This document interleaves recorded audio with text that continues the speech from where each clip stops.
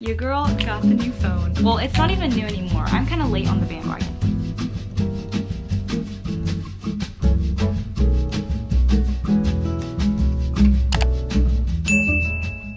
Guys, it's Nicole and welcome back to my channel. Your girl got the new phone. Well, it's not even new anymore. I'm kind of late on the bandwagon, but I have the iPhone 15 Pro Max and a lot of you guys have been requesting like a lot lately if I could do an updated what's on my iPhone because I haven't filmed one of these videos in a really long time. And honestly, I've kept my phone like organized the same way since like forever. Like I haven't really changed anything. I might have like a few new apps, but for the most part, I feel like if you look at my old iPhone videos, it's pretty much the same thing. But we're doing an updated one because I have the 15 now. Also, my little Jellycat donut. She's my little special guest of the video. But anyways, I hope you guys enjoy this video. I'll be showing you all the apps I love, how I organize my phone, and just what I do because I use this thing every single day of my life. But before we get into it, here's a word from today's sponsor. Thank you so much to Casetify for sponsoring this video. You guys already know how much I love Casetify. I've been using their products for years now and they never disappoint. And one of my favorite products of theirs are their bounce cases. They have the best protection. They have these bounce corners, which gives them 21.3 feet drop protection, EcoShock protection technology,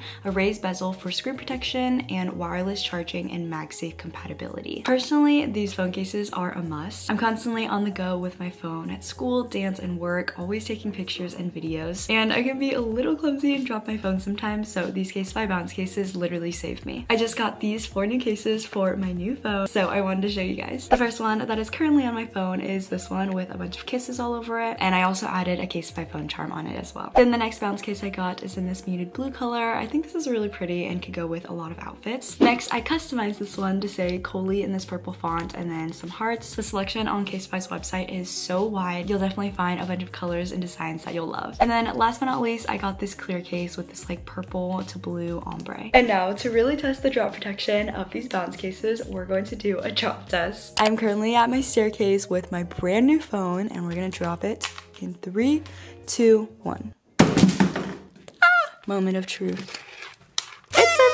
Survived! now that you guys have seen that Casetify bounce cases are not only cute but have the best protection, you can go to casetify.com slash nicolelaeno now and get your new favorite phone case. Thank you so much to Casetify for sponsoring this video and now let's get back into it. Okay, so here is my new phone. First, let me just take off the case real quick to like show you guys. Ugh, it's beautiful. This is the 15 Pro Max and I did get the white color. I know a few of you might be surprised that I didn't get the pink color, but they didn't have a terabyte in storage in the pink color, so I got a terabyte in this white color. And this is still so, so pretty. I feel like a lot of the times I have a clear case, so like it just, I don't know. I really like it. And then of course my case is from Casetify. You guys already saw. It has these kissy lips and then my phone charm. I've had this one for a while and it's so, so cute. But now time to show you guys what's actually on my phone. I'm gonna scoot over here and we'll get started. Okay, welcome to my phone. Here is my lock screen. I love this picture so, so much. If you've seen my other iPhone videos, you guys have probably seen this photo. But we were in the Philippines in Boracay and my dad thought it'd be funny if he held coconuts over my mom. And I just think it's hilarious. They're my best friends. I love them, so they're my wallpaper. I don't think I'm gonna change it anytime soon either because like nothing will beat this picture in my opinion. You can customize your wallpapers now. So like over here I have the weather, the app for my car, and then also the battery for my Apple Watch. So those are my little widgets on my lock screen. And then when you enter my phone, here we are. I only have two pages. I've always used folders to organize all of my apps and I'm the type of person that doesn't like notifications. Like, you know, like the red notifications, I can't stand them. So I will always just clear them and make sure my phone looks like this because it looks so clean to me. Okay, but first of all, I don't know if you can, you can't really see it, but my home screen is a picture of Sadie. It's like a 0.5 of her. Her eyes are like really big and her mouth is so, I just think it's really funny. So that's my background. And then the first page, this is just like everything that Apple already comes with. So we have like phone, FaceTime, set,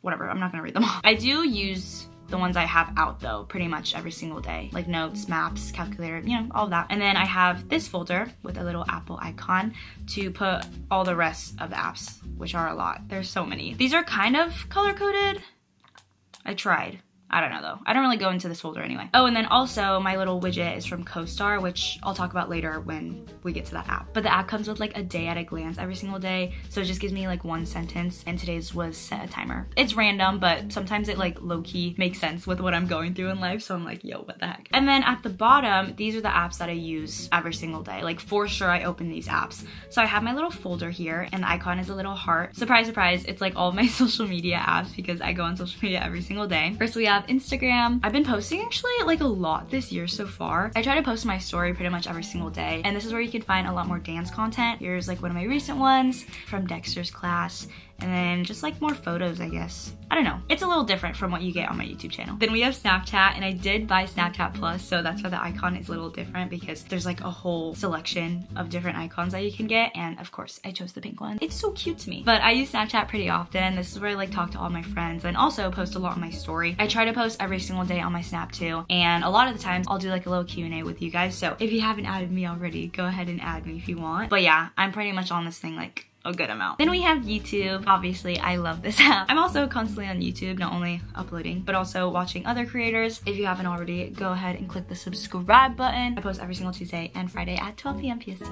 But I love YouTube. Go ahead and comment some of your favorite YouTubers to watch because I love when I can just like sit in bed or even just like put it on in the background and watch a good and fun video. Next, we have Spotify and here's a look at like a bunch of playlists that I have. Some of them I've like subscribed to, but some of them are mine. Love Spotify. Definitely use this every single day too, whether I'm driving to school, going to the gym, just in my room, in the shower jamming. I try to make a playlist every single month and just random ones when I feel like it. So if you want some new music, you can check my playlist out. And then we have TikTok.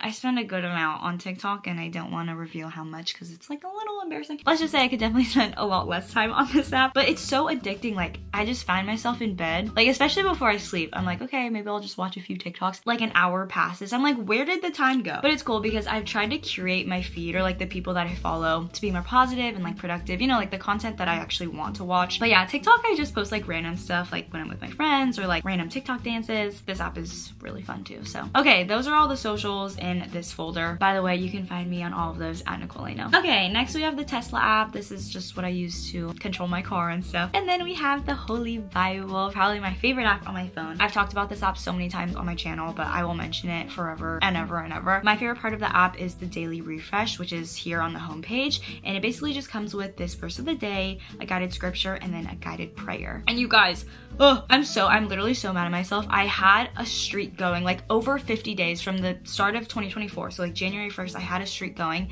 You can see right here, the daily refresh streak it's back to one. I accidentally like forgot I didn't put it on my to-do list and like I just didn't check my Bible.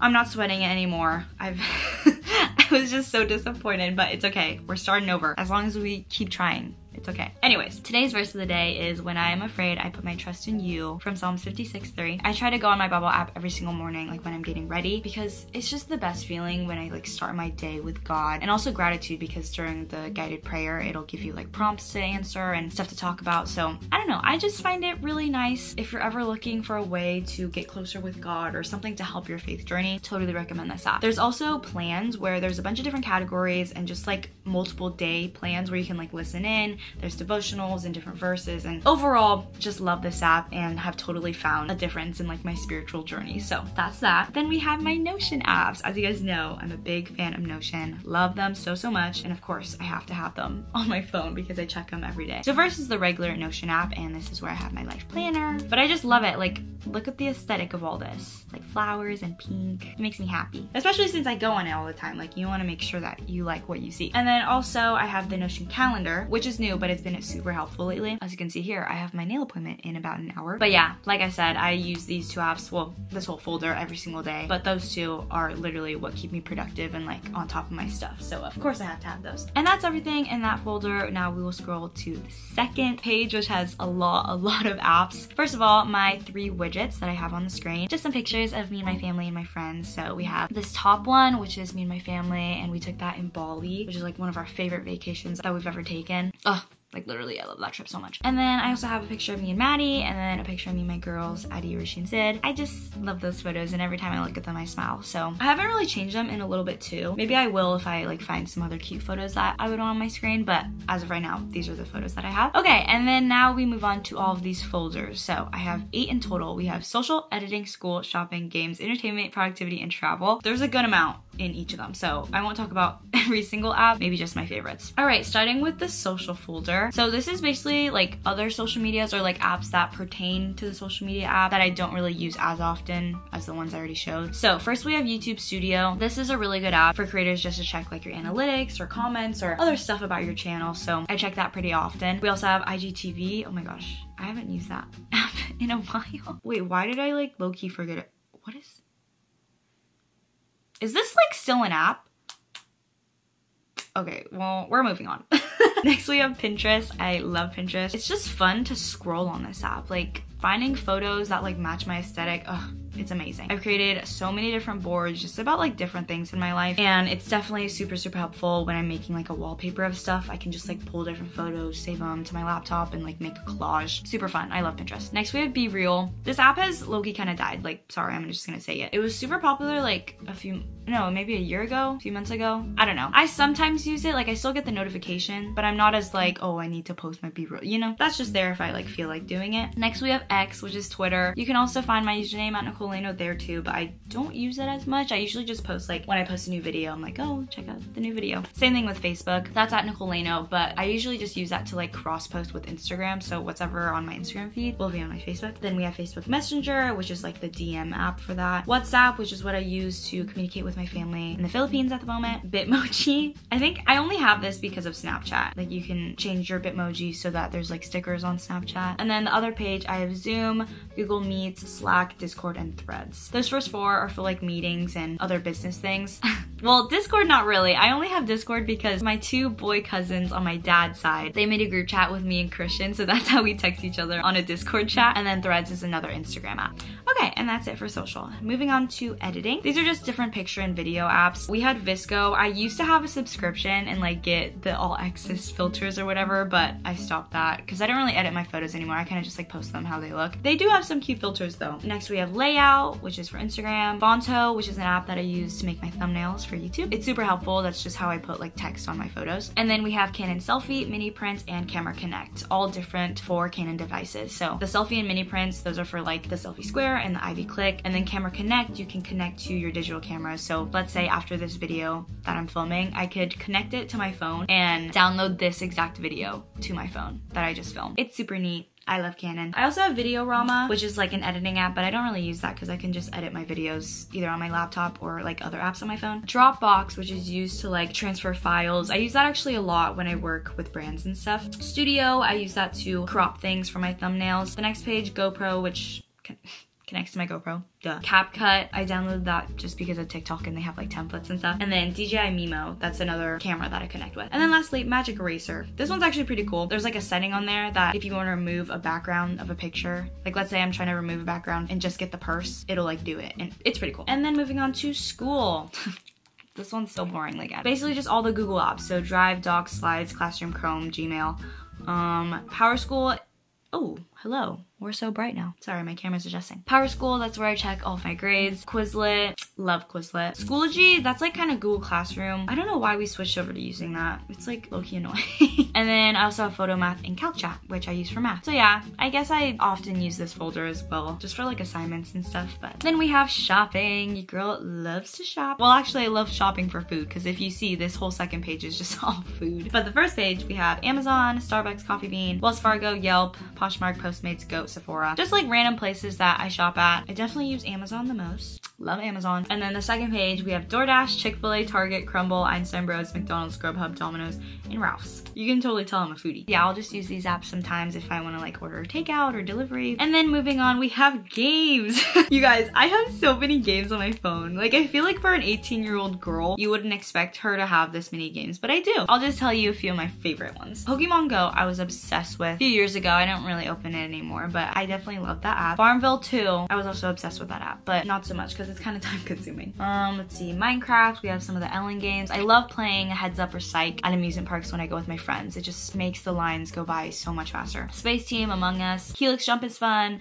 Miraculous. I don't know if y'all remember my Miraculous phase, but if you don't know about it, it's basically the super cute kids TV show. I was obsessed with it. It was so cute. And they have an app, so sometimes I play with that. And then we have Matchmaker, that one's fun. Amaze, that one's fun. Icing on the cake, Riddle Master, Stair Run, Paper Fold, Water Sort. Water sword is fun. I was stuck on this one level for the longest time, you guys. It was so annoying, but I I got it, so it's okay. Wordust, that's just like, um, what is that called? Wordle, Stumble Guys, Cody Cross, Poker Face, Airplane Chefs, Cooking Fever. My latest favorite game has been Airplane Chefs, but I'm also stuck on a level right now that I literally can't and like sometimes I just don't have the brain power. Okay, anyways, enough game talk. I don't play games like too often on my phone. It's just like when I download it, I won't delete it. So they kind of just sit there. But like sometimes I have a lot of fun. Moving on to entertainment, we have Disney Plus, Prime Video, HBO Max, Netflix, you know, just all the streaming services that my family pays for. Disneyland, Universal, Knott's Berry Farm, those are amusement parks. Ticketmaster, that's for like buying tickets for concerts. Goodreads, that's where you can see all the books that I've read. My goal for 2024 is literally just one book a month, but I think it was maybe my sophomore year, I was reading like five books a month and like that's how I kept track of all of them and like I could rate them and stuff. And then, oh, and then this page just has, wait, what? Oh, HBO Max switched over to Max for some, I don't know confusing. Okay, then we have productivity. Let's see, I have Google Photos, TimeTree, which is another calendar app, but now I use Notion Calendar. Flow, that's to track your period all my girlies out there. CoStar, okay, this is the app that I was talking about earlier. This is like horoscope, zodiac sign stuff. You put all of your information like when you were born and stuff and supposedly when all the stars or planets, that's how they were aligned. This is like, it'll just tell you random stuff about yourself. Do bow ties, belt buckles, hardware, don't hit a wall, walk backwards, low standards. And it's asking me, are you looking for validation? I don't know. Again, sometimes it like actually relates to my life and I'm like, yo, what the heck? But then other times I'm like, Mm, that doesn't really make sense. Moving on, we have Arrange Us. If anyone's like choreographing or like creating a dance, I totally recommend this app. I choreographed for my high school's dance team and I used this app just to like see it and visualize it. And then when I went to practice, and I was prepared and everything. Widgetsmith, which is how I made all the widgets on my phone. Screen Logic, that's how we control the hot tub at our house. Venmo, Amazon Alexa, Zelle, Ring, Sleep Cycle. Member Mobile, that's the app that I use for my current gym right now, and that's how I like sign in and sign up for classes. And then 24, which is my old gym that I used to go to. Okay, almost there. Last but not least, we have travel. First, we have Waze, and personally, I'm an Apple Maps girly like the one on my phone already, that one. Comment down below, are you an Apple Maps or Waze type of person? Waze sometimes has some good routes or whatever. I just I just like Apple Maps. Life 360, that's how my family and I know where each other is at all the time. I also have a circle with my friends too, so I have their location. And then Google Maps, I don't use that. Playground, Millennium, What Moves You, those are all studios in LA and that's how I book classes and sign up. And then lastly, Disney Cruise, because I went on one was it last year? Yeah, it was last year. Okay, and that's everything on my phone. All right, you guys, and that's going to be it for this What's on My iPhone updated version. I think the last time I filmed one was maybe two years ago, like during sophomore year when I had the iPhone 13. I've only had this for like literally two days, so I'll let y'all know on like how I like it. Most of the times, like, let's be honest, I feel like there might not be a lot of changes, but we'll see. Maybe I might love the new camera. I don't, I don't even know what's new with it, but yeah, it's always nice to like have an upgrade and have like a fresh new phone because obviously with social media being my job and everything, I'm like constantly taking photos and videos. So I'm very grateful to be able to have this. But comment how y'all organize your apps on your phone, if you're more into folders or kind of just having them out. Thanks again to Casetify for sponsoring this video. Make sure to go to casetify.com slash and get your new favorite phone case. But yeah, if you stayed till the end of this video, comment down below the phone emoji. Thank you guys so much for watching. I hope you enjoyed. Make sure to like and comment down below, subscribe to my channel, subscribe to the family channel, and turn on all the post notifications. I'll see you guys back with another another video. I love you guys so, so much. Stay positive. Bye! Mwah.